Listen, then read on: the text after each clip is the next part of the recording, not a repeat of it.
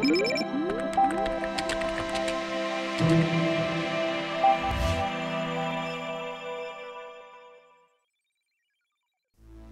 guys, I'm Dave from Adobe Vibe YouTube channel.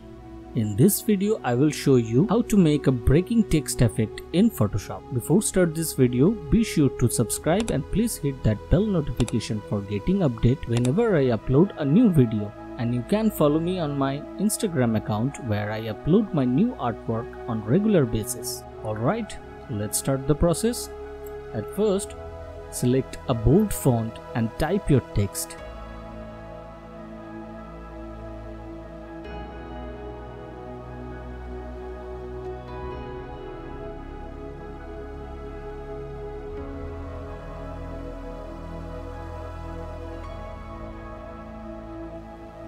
Now make some adjustment and reposition.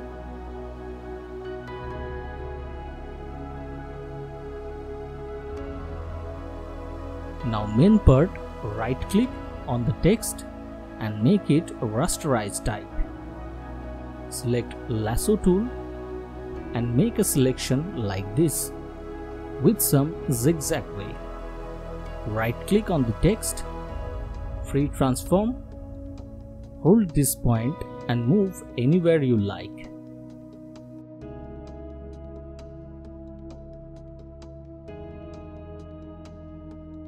Following same step, make some more break on the text, like this.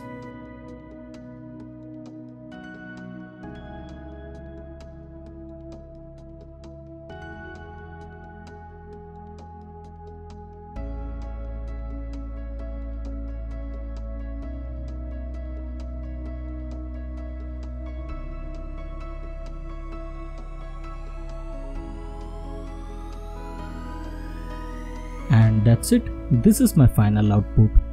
Don't forget to click the like button, sharing this video, subscribing this Adobe Vibe YouTube channel to get more amazing Photoshop effect tutorials. Also you can check out the other amazing video just waiting for you in this channel playlist. Thanks for watching and I will see you on the next video soon. I'm Dave from Adobe Vibe YouTube channel.